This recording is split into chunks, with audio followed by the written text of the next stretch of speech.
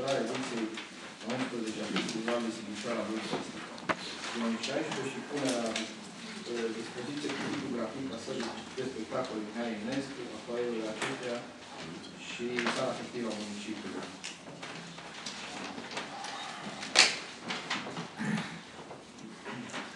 Domnul viceprimar, Eu atât aveam numai să vă informez că de legea 350 nu poate sub nicio formă să mai intre întrucât nu este timp acest uh, festival, pentru că 350 se leagă strict de aprobarea bugetului local. Știți foarte bine care a fost aprobat în 28 ianuarie. Și fiindcă noi am încercat uh, să decalăm data uh, sau intervalul de desfășurare a acestui festival, nu s-a reușit. Nu putem să introducem pe 350. Vreau să vă informez că în data de 7 martie, de dezbatere publică privind legea 350, privind activitățile culturale, sportive, religioase, etc., am uh, convenit, dacă dumneavoastră sunteți de acord, să contribuim și noi cu ceva, titlu gratuit pentru sala Mihai Eminescu, pentru desfășurarea, uh, vederea desfășurării acestui festival. Atât. Deci bani efectiv alocați pentru dâns și nu putem să alocăm, pentru că noi mai lucrăm după legea 215. Asta am mai spus. Asta e situația. Și Bill și vor să organizeze totuși acest festival.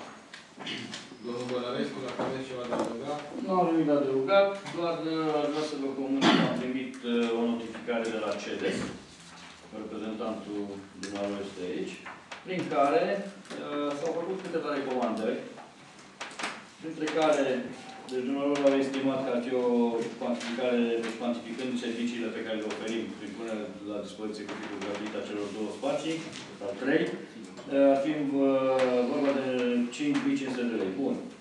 Mai departe, domnia sa, care a făcut această recomandare, spune că, la punctul 2, ar fi bine să fim menționați în materiale de promovare și publicitate a festivalului. Lucrul ăsta oricum îl făceam printr-un protocol prin care poftim pe care nu cunoaștem. Da, nu. Acum nu știu dacă acel protocol trebuie făcut public sau nu. Dar urmează să urmează, deci, dacă se acceptă punerea cu titlu gratuit, așa cum s-a făcut, în, cum s-a cerut în acest proiect, urmează să aibă loc uh, redactarea unui protocol în care vor fi stipulate inclusiv recomandările dumneavoastră. Deci să fim, uh, uh, să apărăm cu sigla municipiului pe afișul de promovare a festivalului, materiale de publicitare care vor exista tipărite sau, știu, uh, media pe internet sau televiziune. Pe urmă, la punctul 3, uh, ne, deci întrebați așa, cine asigură paza curățenia activității de PSI pe perioada care vor fi puse la dispoziție cu titlul gratuit sălile și foaierul? Cine verifică starea sălilor, foaierului înainte și după perioada de punere la uh, dispoziție cu titlul gratuit? Preluarea spațiilor, soluționarea eventualelor pagube produse. În același protocol care va fi încheiat, este firesc și normal să se stipuleze că cel care primește sala spre folosință pe perioada uh, respectivă se ocupă de curățenie, de paza contra incendiilor, numindu-și oameni pentru așa ceva și vor exista și angajații casei de cultură ai sării care vor fi prin obligație de serviciu să fie prezenți la sală. Suntem doi oameni care, deci oricum ar fi, nu putem gestiona fără, uh, știu eu, ca cei care organizează evenimente să vină cu personal, cu, cu, cu ceva de genul. Deci sunt eu, Eduard Bănărescu, calitate de uh, inspector de specialitate și Teofil Mateniu și domnul Cabinet. Nu putem acoperi absolut. tot. Doamne, numai puțin, domnul, dacă ar fi vă rog și nu. Ca să-l cooperez pe domnul Bădulescu. Profit de faptul că domnul Bădulescu este aici. Orice spectacol care are loc în sala Mihai Eminescu se face pe baza unui proces verbal de predare-primire. De fapt, se numește un plan. Unde se identifică persoanele care răspund pentru PSI, persoanele care răspund pentru pază și de comun acord acest plan se stabilește, se identifică persoanele care sunt, se semnează între cel care plătește și între cel care preia. Problemă rezolvată. Dacă vreți detalii, e aici domnul Bădulescu și pot să vă spun. Da, vă rog, domnul Terță. Domnul viceprimar, aș avea o întrebare, probabil, cred că domnul Teanu va putea răspunde cel mai bine. A spus că nu mai lucrați după legea 200, nu știu cât, că 15. 215, că după 350. Da. Care e diferența între ele? Sau ce ne lasă una să facem și ne lasă cealaltă sau invers? Deci, legea două, doi răspunde. Aici aș putea să Sau scurt, așa, nu? Nu. Legea 350, care cu fondurile de rambursare se adresează strict pentru finanțarea fundațiilor, asociațiilor sau cultelor religioase recunoscute, în ce privește folosința cu titlu gratuit, e reglementată de articolul 124 din legea 215, care zice că poate fi dat cu titlu gratuit. Aici e vorba achită sau nu taxa stabilită pe prin hotărâre de Consiliu pe perioada festivalului, pentru sările respective. Și în plus, îl completez pe domnul secretar, e o săriță de oferte pe 315. Pe când, dincolo, se face direct, se face atribuire direct. Și nu mai suntem, aici vreau să spun și prese, nu mai suntem vacă de mus. Punct. S-a gătat. Chiar dacă anul acesta o să avem mici probleme cu prin 350. Probabil că anumite evenimente culturale o să aibă mici probleme. Asta e. Nu am Odată și odată trebuie început. Cam toate. Știți ce a adus ca și completare? Din punctul domnul meu Vice? de vedere, nici festivalul medieval nu se ține dacă nu aveți caiete de sarcini și licitații pornite și ce mai. O să fie. Bine. O Deci, să fie. vreau să spun, O să fie. vreau să vă, da, Dacă vroiați să introduceți așa, trebuia început de anul trecut. nu puteam că nu aveam buget Uh, aprobat. și nu este problema Consiliului Local că ați stabilit-o dumneavoastră să schimbați legea. Nu Normal. e aici. Normal. Deci uh, o să aveți de asumat ceva pe treaba asta, pentru că nu... Abia aștept să mi asum răspunderea pentru ceea ce fac. Bine, bine. Dar nu mai suport, vreau să vă spun o singură chestiune, pentru că pe legea 215 vin foarte multe reclamații, uh, doamnelor, domnilor colegi, cetățenii ai Sighișoare. Pe legea Eu 350 nu nu vreau. aveți contestații, nu le Probabil. Dacă sunt, sunt. Asemenea contestații se întâmplă, că poate să apară și la anumite activități care le avem noi și anumite lucrări care le avem noi. Trebuie o dată și o dată început. Nu mai, nu mai ține. Avem reclamații, de exemplu, și sesizări la parchet, niciun secret, și la DNA, privind desfășurarea Festivalului Medieval 2015. Unde, într-adevăr, se reclamă legea 215 și modul de atribuire a spațiului. Eu nu mai răspund pentru așa ceva.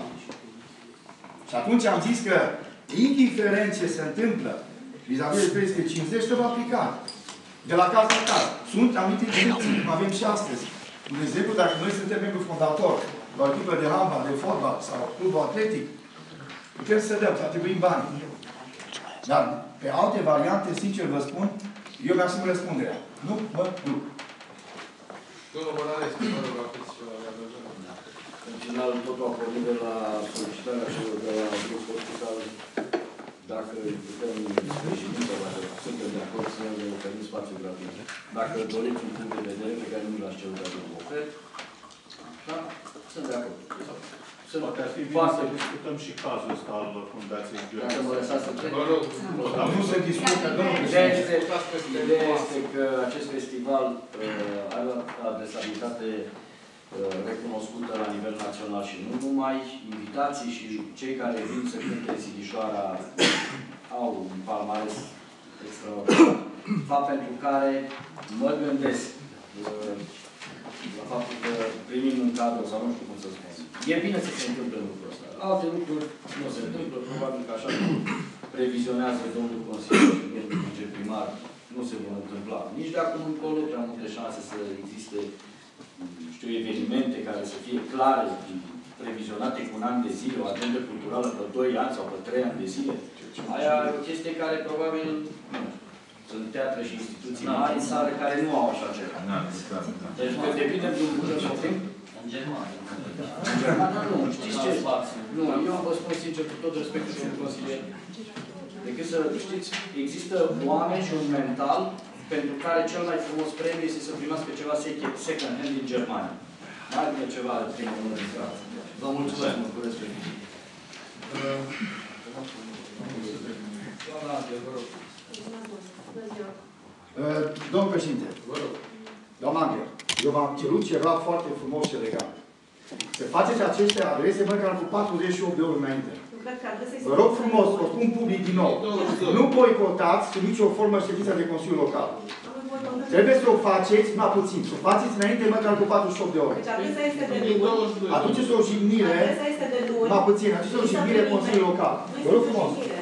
Dacă îmi dați voie să, Vă să rog, precizez. doamna. Adresa am Domnul pus-o președinte, vă dă voie. Eu nu- zilei de luni, am vorbit cu domnul președinte înainte, cu cursul zilei de luni, luni seara, să înseamnă că cel târziu marți dimineața, mie mi-a arătat că a fost livrată în aceea seară, marți dimineața era primită la primăria Sighișoara. Da, este din 22, tot, aveți Deci data marți, aici. Cred că au fost suficiente. Vă ascultăm. Da, sunt câteva, sunt doar, nu sunt foarte multe idei, dar considerăm că sunt foarte importante. Aș dori să subliniez că aceste recomandări le-am trimis către primăria și către Consiliul Local, nu către domnul Bănărescu, și m-aș bucura să aveți și dumneavoastră aceste materiale.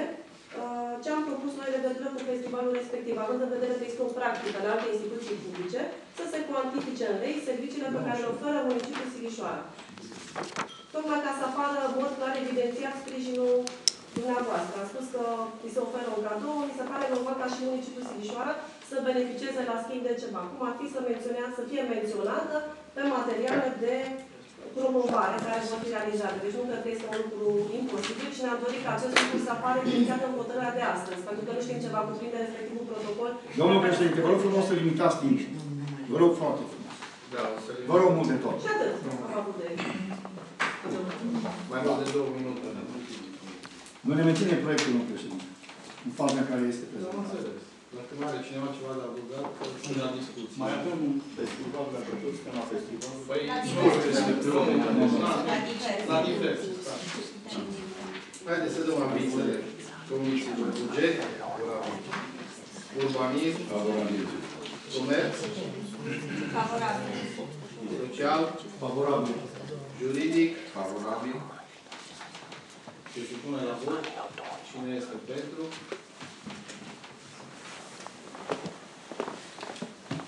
跟你讲